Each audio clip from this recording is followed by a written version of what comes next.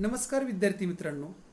आज या व्हिडिओच्या माध्यमातून आपण शंभरच्या जवळ असणाऱ्या संख्यांचे गुणाकार अगदी सोप्या पद्धतीनं कसे करायचे याच्या काही ट्रिक्स मी तुम्हाला सांगणार आहे आणि या ट्रिक्सचा वापर करून अगदी कमी वेळेमध्ये म्हणजेच दोन तीन किंवा चार पाच सेकंदामध्ये मोठे गुणाकार आपण कशा पद्धतीनं करू शकतो हे या व्हिडिओच्या माध्यमातून आपण पाहणार आहे. तरी हा व्हिडिओ शेवटपर्यंत पहा. आवडल्यास तुमच्या मित्रमैत्रिणींमध्ये नक्कीच शेअर करा. आणि असे अजून व्हिडिओ पाहण्यासाठी माझं चॅनल गणिताची दुनियाला सबस्क्राईब करून ठेवा. बेल आयकॉनही दाबून ठेवा. तर पहा शंभरच्या जवळच्या असणाऱ्या काही संख्यांचे गुणाकार मी तुम्हाला शिकवणार आहे. त्याच्यामध्ये सुरुवातीला शंभरपेक्षा कमी असणाऱ्या शंभरपेक्षा लहान असणाऱ्या दोन संख्यांचे गुणाकार कसे करायचे ते मी सुरुवातीला तुम्हाला शिकवणार आहे. अगदी सोपी पद्धत आहे. पहा कशा पद्धतीने आपण गुणाकार करू शकतो. उदाहरणार्थ आता पहिली संख्या मी इथं लिहितो चौऱ्याण्णव. आणि दुसरी संख्या लिहितो ब्याण्णव. या दोन संख्यांचा गुणाकार जर आपल्याला करायचा असेल तर काय करायचं पहा?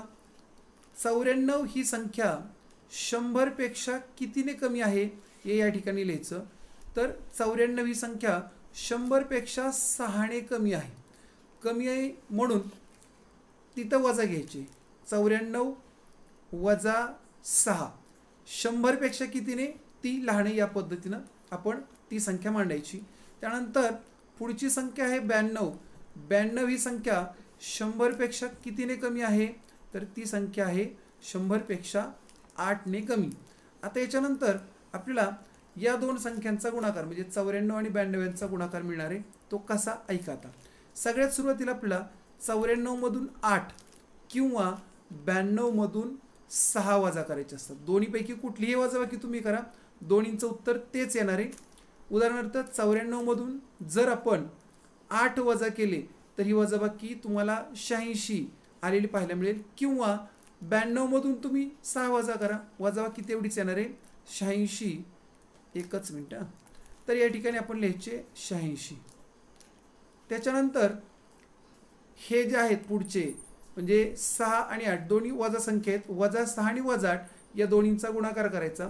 त्या दोन्ही संख्या वजा असल्यामुळं त्यांचा गुणाकार हा धन येतो. सहा आणि आठ यांचा गुणाकार हा या ठिकाणी तुम्हाला आठ सक अठ्ठेचाळीस आलेला पाहायला मिळेल. अशा पद्धतीनं चौऱ्याण्णव आणि ब्याण्णव या दोन संख्यांचा गुणाकार हा आठ हजार सहाशे अठ्ठेचाळीस येईल. आणि हे तुम्ही नक्कीच त्याची पडताळणी करून बघू शकता. याच्यामध्ये जर या ठिकाणी या दोन संख्यांचा गुणाकार एक अंकी आला तर मात्र इथं आपला शून्य घेऊन तो दोन अंकी म्हणजे एकक आणि दशक घेऊन तो अंक लिहायचा असतो. आणि जर तो गुणाकार आपल्याला तीन अंकी आला तर मात्र एक हातचा आपल्याला मिळवायचं आहे. ते काही पुढच्या उदाहरणामध्ये मी तुम्हाला सांगणार आहे. याच्यानंतर दुसरं उदाहरण मी तुम्हाला सांगतो. या दोन याच पद्धतीनं गुणाकार करण्याचं. पुढचं या ठिकाणी जे एक्झाम्पल मी घेतो आहे ते आहे अठ्ठ्याण्णव गुणिले नव्याण्णव. अशा दोन संख्यांचा जर आपण गुणाकार करायला घेतलं याच पद्धतीनं तर हा गुणाकार आपण कसा करू शकतो? तर पाहूया. अठ्ठ्याण्णव ही संख्या शंभरपेक्षा दोनने लहान आहे म्हणून इथं मी घेतले वजा दोन. तर नव्याण्णव ही संख्या शंभरपेक्षा एकने लहान आहे म्हणून या ठिकाणी घेतले वजा एक.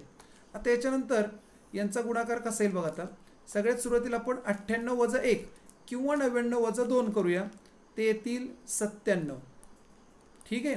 आणि आता दोन आणि एक यांचा जर आपण गुणाकार केला वजा दोन आणि वजा एकचा तर तो गुणाकार दोन येतो. तर हे दोन लिहिताना आपल्याला काय करायचे? शून्य दोन अशा रूपात लिहायचे. अशा पद्धतीनं अठ्ठ्याण्णव आणि नव्याण्णव या दोन संख्यांचा गुणाकार नऊ हजार सातशे दोन आपण काढू शकतो.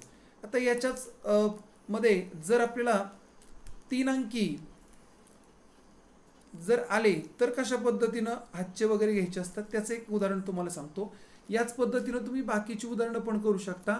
शंभरच्या जवळच्या कुठल्याही दोन संख्ये घेऊन त्यांचा अशा पद्धतीने आपल्याला गुणाकार हा करता येतो. याच्यामध्ये आता पुढच्या प्रकारची संख्या मी तुम्हाला घेऊन दाखवतो. उदाहरणार्थ आपलं हे तिसरं उदाहरण असणार आहे. त्याच्यामध्ये बघा आता अठ्ठ्याऐंशी आणि एक्क्याण्णव यांचा गुणाकार आपल्याला करायचा आहे.